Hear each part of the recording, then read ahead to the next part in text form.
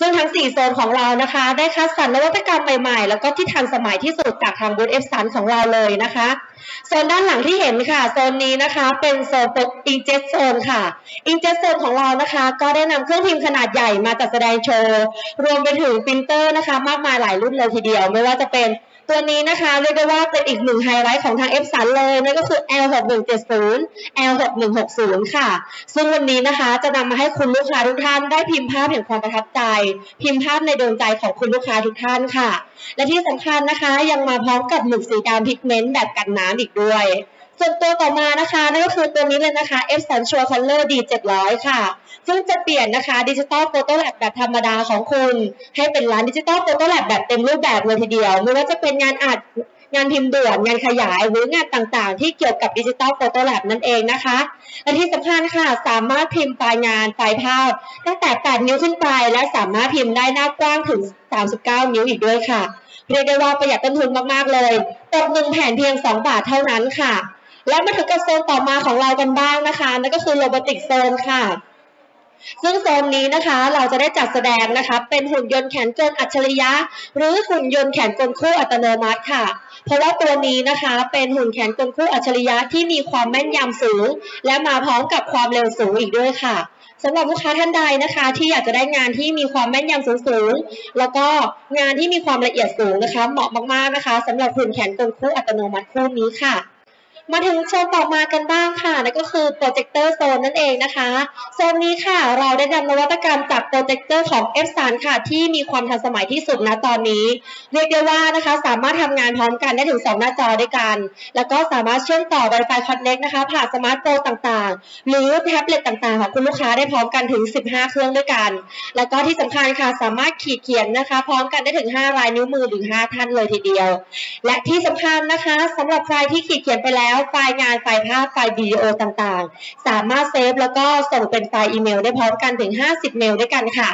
และมาถึงโซนสุดท้ายของเรากันบ้างนะคะ นั่นก็คือโซนนี้เลยค่ะ Visual Mobilio Zone ค่ะ ซึ่งเป็นโซนหน้าตาอัจฉริยะของเรานะคะ และวันนี้ที่เรานำมาจัดแสดงโชว์นั่นก็คือ BT 300นั่นเองค่ะ และไม่ได้นำมาโชว์อย่างเดียวนะคะแว่นตาอัจฉริยะของเรายังทำงานได้หลากหลายเลยทีเดียว ไม่ว่าจะเป็นนะคะ การบันเทิงดูหนังฟังเพลงไฟล์สามมิติต่างๆ และที่สำคัญนะคะยังสามารถเชื่อมต่อกับโดรนได้อีกด้วย แล้ววันนี้นะคะเรามีวิทยากรนะคะ ลูกหล่อของเรามาให้คำแนะนำแล้วก็มาให้ความรู้ เกี่ยวกับโดรนแล้วก็แว่นตา BT 300 ด้วยค่ะ ขอเชิญคุณโตนะคะ จาก World Camera ค่ะ ขอเชิญเลยค่ะ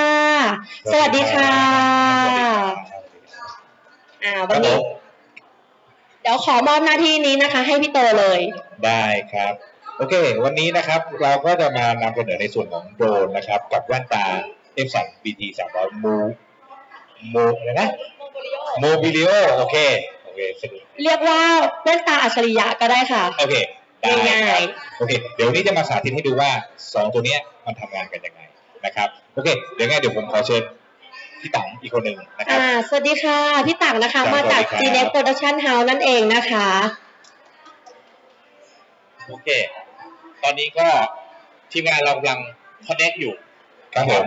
ระหว่างคอนเน็กเนี่ย อยากให้พี่ตังเล่านิดนึงความเป็นมาของโดรนเนี่ย ระหว่าง อดีตกับปัจจุบันเนี่ยแตกต่างกันเยอะมากไหมฮะก็เยอะครับก็มีการพัฒนาขึ้นเรื่อยๆ จากเดิมเนี่ยก็อาจจะต้องเป็นลำประกอบเองนะครับ ซึ่งปัจจุบันนี้ก็ระบบก็พัฒนาขึ้นมามากอ่าสามารถทำให้เราใช้งานได้ปลอดภัยขึ้นง่ายขึ้นนะครับ แล้วก็ใช้ในเชิงธุรกิจได้หลายอย่าง เพิ่มมากขึ้นพกพาได้ง่ายขึ้นด้วยพกพาง่ายขึ้นด้วย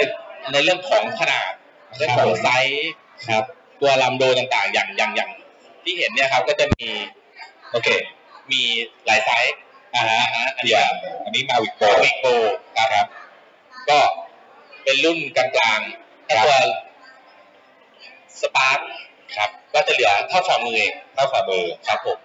อันนี้ใช้หน้าผมมองหน้าแบบในครอบครัวเล็กๆหนุกใช่ครับสำหรับเอ่อท่องเที่ยวๆอ่าหรือฮะสมัครเล่นถ่าย รูปหมู่ครับผม นะฮะที่ให้มุมมองที่แตกต่างออกไปอะไรอย่างนี้ครับ แล้วพี่แต่งได้ลองใช้ตัว F3 ของ BT 300นี่หรือยังฮะ ตัว Epson BT สำหรับได้ได้ลองสัมผัสแล้วครับ ก็ดีสำหรับในการ connect กับโดรนในการใช้ control โดรนครับผมครับ ก็ทำให้ทำให้เรา control โดรนได้ง่ายขึ้นในสภาพแวดล้อมต่างซึ่งแตกต่างจากอ่าสมาร์ทโฟนที่เราใช้กับรีโมทด้วยๆ ใช่ครับ ซึ่งแต่ความแตกต่างของตัว BT 300 กับสมาร์ทโฟนปัจจุบันที่เราใช้ใช้กันอยู่เนี่ยคือครับในเรื่องของความคมชัดของภาพที่ได้อ่านะฮะฮะเพราะว่าอย่างสมาร์ทโฟนอ่าหลายคนที่เคยใช้โดรนเนี่ยจะรู้ว่าเอ่อแสงของจอสมาร์ทโฟนเนี่ยบางทีสู้แสงอ๋อแดดโอเคที่แรงๆไม่ได้ เหมือนที่ผมรับ โอเคนึกนึกนึกภาพตามนะครับ ก็เหมือนผมใช้สมาร์ทโฟนโทรศัพท์หาใครสักคนอ่าหรือจะดู Facebook ใช่เวลาเราไปยืนกลางแจ้งผมก็ต้องก้มหลบหลบๆใช่ครับ หรือไม่งั้นก็ต้องหลบมุมอะไรนิดนึงหาเงาหันอ่าหาเงา เพื่อที่จะเห็นคราวนี้ถ้าเกิดลองนึกภาพถ้าเกิดเรา control โดรนอยู่แล้วเราต้องใช้ใช้สมาร์ทโฟนในการมอนิเตอร์ครับนะครับ ซึ่งบางทีเนี่ยการการการบังคับโดรนเนี่ยเราควรจะเห็นตัวลำด้วยเพื่อความปลอดภัย อ่าอ่าคราวนี้เราหันไปด้านนี้โอเค control อยู่ดูสมาร์ทโฟนไปด้วยดูตัวลำไปด้วยครับซึ่งมันอาจจะทิศโดนทิศทางของแสงพอดีครับนะครับ ก็เลยทำให้เห็นภาพไม่ชัดเจนครับผมครับผมเพราะฉะนั้นเราก็ต้องอาจจะต้องหันหลบเพื่อมองมอนิเตอร์ อืมซึ่งก็ทำให้เราพลาดทำงานลำบากอีกอ่าพลาดการมองตัวลอ๋ออันนี้เป็นเป็นข้อแรกๆเลยใช่ไหมฮะำเป็นเทคนิคเทคนิคที่เป็นเป็นข้อควรปฏิบัติในการบิน โดรนเพราะว่าคือต้องเห็นตัวลำในขณะที่เราโอเคบินด้วย ให้อยู่ในระยะสายตาเรา ใช่ครับเพื่อความปลอดภัยอ๋อโอเค แล้วอย่างมารยาทของการบินเนี่ยครับครับพี่ตังเนี่ยมีอะไรแนะนำกับมือใหม่บ้างไหมฮะตรงนี้อ่าฮะก็เดี๋ยวนี้เราก็ต้องควรศึกษากฎข้อบังคับต่างๆ ที่ออกมาเอ่อเยอะแยะมากมายในปัจจุบันนี้นะครับครับผมในเรื่องของมารยาทในการบินในที่ ซึ่งบางที่เนี่ยก็จะมีสถานที่ห้ามบินครับนะครับ ก็ไม่ควรละเมิดโดยเด็ดขาด อ่าฮะอ่าฮะซึ่งซึ่งโดยปกติแล้วดีใจเนี่ยก็จะมี no fly zone ออกมาให้ในระดับหนึ่งแล้ว no fly zone โอเคครับ ซึ่งแต่ในบางสถานที่นี้เป็นสถานที่ส่วนบุคคลหรือเป็นสถานที่ราชการที่สำคัญ ซึ่งเขาไม่ได้แอดเข้าไปในโนไฟโซนของดีใจครับ แต่เขาก็จะมีป้ายห้ามติดไว้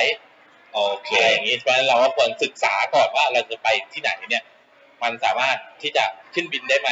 อ๋ออ่าฮะหรือ อันดับแรกเลยก็คือ ควรจะไปแจ้งเจ้าของสถานที่โอเคครับเพื่อความปลอดภัยของทั้งตัวเราเองแล้วก็เจ้าของสถานที่ด้วยคือแจ้งเขาก่อนว่าเออผมขออนุญาตเก็บภาพนะครับอ่าอะไรอย่างนี้ครับผมเหมือนผมเห็นป้ายที่เขาใหญ่ อ่าอ่าอุทยานแห่งชาติอ่าทุกที่ครับตอนนี้ห้ามเลย ใช่ แต่ว่าไม่ไม่ได้อยู่ในโนไฟโซนนะอ๋อคือถามว่าบินจากเครื่องจากแอปเนี่ยได้ไหมได้อ่าฮะแต่ อุทยานแห่งชาติคืออันนี้เป็นกฎหมายในเมืองไทยเองครับ ก็คือห้ามอืมบินครับ แต่ว่าต่างๆก็มี แต่ถ้าผมอยู่บ้านแล้วผมบินไป แต่ไม่รู้ ผมไม่รู้ สมมุติว่าบนเขาใหญ่เนี่ยผมไม่รู้ว่ามีห้ามบิน ผมก็บินไปเรื่อยๆเรื่อยๆเรื่อยๆอันนี้ผมจะมีปัญหาทีหลังด้วยไหมเอ่อก็มีครับอืมก็มีก็เท่าเท่าที่เป็น case study ที่เคยมีก็คือครับบินบินแล้วก็ไปโพสต์ในโซเชียล โอเค อ่าพอในโซเชียลก็บางทีก็มีคนไปเอ่อเขาเรียกอะไรอะนำไปเสนอในทางที่ผิดอย่างเงี้ยครับเช่นก็ก็ ชี้เป้าลักลอบตัดไม้ใช่ อ๋อโอเคแล้วแล้วหน่วยงานต่างๆ เนี่ยเขาก็มีคนมอนิเตอร์อยู่ อ่าว่าคุณเอารูปที่มาโพสต์เนี่ยเป็นรูปสถานที่ที่ต้องห้ามหรือเปล่า อ่าถ้าเกิดอย่างนั้นคุณก็ผิดผิดกฎหมายคือ คือนางสามารถคือคุณนำรูปที่ต้องห้ามเนี่ยมาเผยแพร่โอ้โดนโดนโดนหลายกระทงนะเนี่ยโดนเยอะครับ หลายกระทงหแล้วลายกระทงครับอืมไหนจะพรบคอมอีกอะไรอีกใช่อืมโอเคพี่ดุยพร้อมไหมฮะโอเคตอนแรกว่าจะจะจะเอ่อคอนเน็กเอ่อจะไลฟ์สดทีนี้ มันคอนเน็กไม่ติดกับเอ่อ Wi-Fi อ๋อ Wi-Fi ไม่ได้ไม่เป็นไร Wi-Fi ของโทรศัพท์ครับตอนนี้อาจจะไม่ติดเพราะว่าอยากให้เห็นภาพด้วย ก็จะได้รู้ว่าเออตอนเนี้ยเราใส่อยู่เนี่ยมันมีภาพอะไรที่ขึ้นบ้างหน้าจอนะครับ ก็อยากให้ที่เดินผ่านไปผ่านมาได้เห็นนะแต่ตอนนี้ก็นำกับแว่นนี่ใช้ได้ละถอดได้เรียบร้อยแล้วนะครับด้านในนะครับก็จะมีเอ่อแผงก็จะมีแสดงหน้าจอแอปพลิเคชันของต่างๆนะครับ ตัวนี้เจ้า BT 300 เนี่ยไม่ใช่ว่าใช้แต่โดนได้อย่างเดียวนะครับ ก็อย่างอย่างที่สรรพคุณนี่น้องๆพิตตี้สาวสวยทั้ง4 5ท่านเนี่ยก็บอกไปแล้ว นะครับว่าไม่ได้ไม่ไม่ไม่เฉพาะต่อกับโดรนเท่านั้นนะครับ ก็สามารถใช้ความบันเทิงที่บ้านได้ด้วยนะครับ แต่เราเราเป็นคนใช้โดรนเราใช้บางทีอย่างที่พี่ถังบอกว่าเอ่อออกไปนอกสถานที่แดดร้อนๆอย่างเงี้ยมันสู้แดดไม่ไหวโทรศัพท์นะครับ ก็ได้เจ้าตัวนี้แหละ DT 300เนี่ยเอามาทดสอบนะครับ ก็ได้ลองเล่นอยู่มาพักหนึ่งละก็โหใช้ดีใช้ดีมากใช้ดีมากก็ เป็นตัวเลือกอันหนึงนะครับที่ เพื่อนๆคนไหนนะครับที่ใช้โดรนอยู่ก็ลองลองลองดู ลองซื้อลองหาไปใช้กันดู หรือเอามาเทสได้ก่อนที่บูธเอฟสันนะครับ วันพรุ่งนี้ยังมีอีกหนึ่งวัน แล้วพวกเราก็ยังจะอยู่ที่นี่อีกหนึ่งวันนะครับ น้องพิตตี้ไม่กลับเราก็ไม่กลับครับเออนะครับเราก็จะอยู่เฝ้าน้องพิตตี้อยู่นี่แหละครับถูกต้องถูกต้องถ้าไม่ได้เอากลับ ผมก็ไม่กลับก็นะครับก็นี่เจ้าบีสามร้อยนะครับนี่ถ้าใครเดินผ่านไปผ่านมานะครับ อยากรู้ว่าข้างในมันเป็นยังไงลองลองเข้ามาสัมผัสลองมาสวมดูได้นะครับเข้ามาสวม ดูว่าข้างในเป็นไงแล้วได้รับรางวัลของรางวัลอ่าติดไม้ติดมือกลับบ้านไปด้วย gift set อ่า gift set เป็น gift set นะครับเป็น gift set เป็นเป็นของนะครับไม่ใช่ได้ gift นะฮะอ่าโอเคนะครับ เดี๋ยวต่อไปก็เดี๋ยวจะผมก็จะทำการลองทดสอบนะครับในการบินผ่านเจ้าแว่นตา BT 300 นะครับ ให้ให้ชมระวังกระพื้นนะ ตรงไหนก็ได้พี่ ตรงไหนก็ได้ มือก็ได้ครับอ่า เออมือเดียวก็ได้ครับพี่พี่ก็ระวังมือนะครับใบเล็กๆนี่ตัดนิ้วขาดได้นะครับ นี่นะครับ ก็ส ตาร์ทแล้วนะครับอันนี้คือเรา connect แอปเรียบร้อยแล้วนะครับ ก็สามารถ control ผ่านอ่าแว่น Epson BT 300 ได้เลยนะ ก็จะเห็นนะ ก็ control ได้ปกติ ครับ ซึ่งตอนนี้ภาพเนี่ยก็จะปรากฏอยู่ที่ใช่ครับเราประมาณลอยอยู่หน้า คุณดุยนี่เองใช่ครับนะฮะคือปกติแล้วเราจะต่อกับสมาร์ทโฟนซึ่งเอาหนีบกับตัวรีโมทคอนโทรลนะครับ ก็แต่ตอนนี้เราก็ไม่ต้องใช้สมาร์ทโฟนเปลี่ยนจากสมาร์ทโฟนเป็นแว่นตาแทนนะครับ ก็ไม่ต้องอ่าแว่นตัวนี้ก็สามารถ อย่างที่บอกครับสามารถสู้แสงได้นะครับไม่ต้องแล้วความดีของมันอย่างหนึ่งคือ มันจะมีอ่าสินค้าตัวหนึ่งที่เหมือนครอบครอบด้านหน้าอย่างเงี้ยมันอาจจะทำให้เราแบบมองไม่เห็นตัวลำแต่ตัวเนี้ยเราสามารถเห็นตัวลำเราจะเดินหน้าไป อะไรอย่างเงี้ยเราก็สามารถเห็นตัวลำได้มองไปก็เห็นตัวลำแล้วก็มองไปข้างหน้าก็มีจอดิสเพย์แสดงหน้าจอว่าตอนนี้เป็นอะไรนะครับก็ทำให้เราเห็นสภาพแวดล้อมได้ใช่ใช่ครับ คุณลูกค้านะครับท่านใดนะครับที่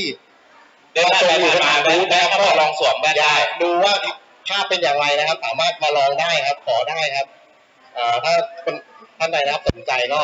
บอกได้ครับ ก็เดินเข้ามาหาเลยครับ เดี๋ยวเราก็จะเนี่ยนี่นะครับเด็กๆชอบครับเด็กๆชอบนะครับ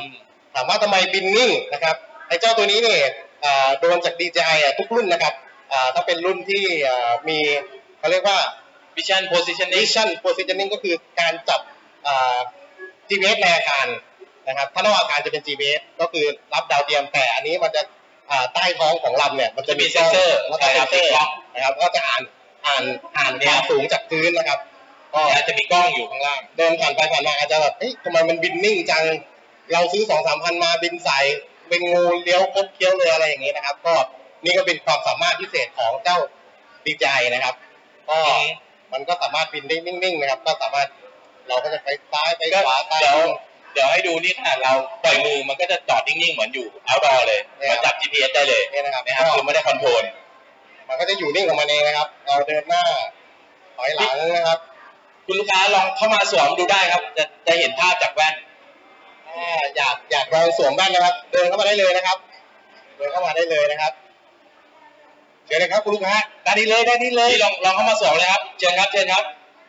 ได้เลยครับผม วางวางวางเครื่องคอมไว้ก่อนครับวางจอคอมไว้ก่อนมาลองมาลองมอนิเตอร์นี่ครับจะเห็นความประสบประสบการณ์ใหม่ ในมุมมองใหม่ ๆ ครับผมเชิญครับ มาเลยครับมาเลยครับวางไว้ก่อนครับไม่หายครับเดี๋ยวเดี๋ยวเดี๋ยวเจ้าหน้าที่เราดูแลให้ถ้าไม่ใช่ผมเอาไม่มีหายครับนั่นแหละยังไงครับพี่โอเคด้านด้านนี้เลยครับผมประมาณนี้ครับ เดี๋ยวจะให้ลองชมว่า ภาพมอนิเตอร์เคยเคยเล่นโดรนไหมครับไม่เคยอ่าไม่เคยใช่ไหมครับ อ่า ตัวนี้มันจะเป็นอุปกรณ์คือภาพจากโดรนเนี่ยจะส่งมาที่แว่นตัวนี้จะทำให้เหมือนหนังไซไฟเลย มันจะภาพลอยอย่างนี้เลยครับ เดี๋ยวลองสวมดู เดี๋ยวแป๊บนึงครับ แอปหลุดเหรอสายหลุดแป๊บนึงครับ เดี๋ยวให้ดูภาพ คือปกติเนี่ยเวลาเราบินเนี่ยภาพภาพเนี่ยครับ ภาพอย่างในจอเนี่ย มันจะส่งมาที่โทรศัพท์นะ แต่คราวนี้เราจะเปลี่ยนเป ลี่ยนจากส่งมาที่โทรศัพท์มาเปลี่ยนเป็นที่แว่นอะนะแบตหมดอ้าวเสียโหไม่มีตัวนั้นมันไม่คอนเน็กอ้าวเดี๋ยวแป๊บนึงครับชาร์จชาร์จอ๋อชาร์จรูเดียวกันใช่ไหมอะไม่เป็นไร งั้นลองสอบมันนี้ดูก็ได้ครับ ถอดถอดถอดถอดสายชาร์จออกมาเลยครับให้ให้น้องเขาลองดูอันได้ไหมจะต้องใช้อันนี้ด้วยแต่หมายถึงว่าเดี๋ยวแป๊บนึงครับ ผมดูก่อนอันนี้จะเห็นภาพเฉยๆว่า ว่าว่าหน้าจอเป็นยังไง โอเคเดี๋ยวแป๊บนึงนะครับ โอเคก็ ลองส่องดูครับ ก็จะเห็นตอนนี้มันหน้าจอเนี่ยมันจะเห็นเหมือนเหมือนเหมือนสมาร์ทโฟนเครื่องหนึ่งนะจะมีไอคอนต่างๆเป็นแอปต่างๆ ซึ่งการ control เนี่ย มันก็จะใช้เมาส์อ่าลองลองเลื่อนดู แล้วลองเข้าไปกดกดคลิกดูได้เลยครับใช้เมาส์เราเราใช้คอมอยู่แล้วเราน่าจะถนัดนะลองดูแล้วคลิกแอปคือสามารถดูวิดีโอได้ดูอะไรได้หมดเลยครับ โดยโดยที่จะเป็นภาพลอยอยู่บนหน้าเราใช่ไหมคมชัดไหมครับ ชัดครับเอาไปเล่นเกมก็ได้นะอ่า ได้หมดครับได้หมดเหมือนเล่นเพื่วอนงคนเล่นเดีเกยวมเลยมีเกมอะไรนะสโนว์บอร์ดบ้างอยู่เนี่ย เห็นไหมอ่าลองกดดูได้ครับสโนว์บอร์ดมองมองมองมาข้างหน้านะครับไม่ต้องมองไม่ต้องมองนี้ครับภาพภาพมันจะลอยอยู่หน้าเราตลอดเวลาครับ เราจะมองไปทางไหนก็ได้ครับเอออ่านะฮะเป็นไงฮะ อนนี้เราอะไรอยู่เข้าเอ่อแอปไทยทำทำทำมาแพนครับอ่าฮะอ๋อถนัดเลยครับ นิ้วแบบคล่องมากแสดงว่าเป็นคนใช้นิ้วเก่งมากครับคล่องมากเลยฮะ จริง ๆ นะ เอามืออยู่ข้างล่างไม่ต้องมองมืออยู่ข้างล่างแล้วเลื่อนเลยโอเคโอเคเลยแลกกับจอเอาไหมไม่ได้โดนเลยไอเนี่ยแลกกับจอเอาไหม เอาไม่ได้เลย โอ้ใจง่ายมากอะเดี๋ยวเชิญได้ได้เลยนะครับโอเคเดี๋ยวเชิญรับกิฟต์เซ็ตจากเอฟสันนิดนึงคคุรัณบน้ผองมการจะรับกิฟต์เซตครับผม นี่ครับจากคุณน้องคนสวยเลยอะข้างหน้าข้างหน้านะครับ ให้กล้องเห็นอ่า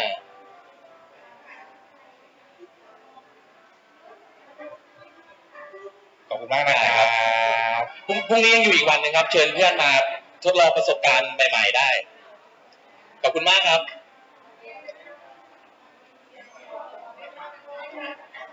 อะต่อ เมื่อกี้ก็นั่นแหละครับ เวลาใช้กับ Connect กับโดรนก็จะสามารถเห็นภาพอยู่บน อยู่บนหน้าเราเลยครับลอยไปตลอดทุกที่นะฮะก็อยู่จะอยู่ประมาณประมาณนี้นะครับ เราหันแบบนี้มันก็จะหันอย่างนี้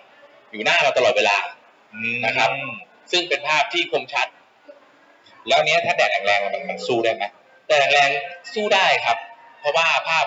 มันจริง ๆ แล้วมันมีออปชั่นอ่าอีฮะกตัวหนึ่งเดี๋ยวผมขอไอ้ตัว อยู่ในกล่องครับ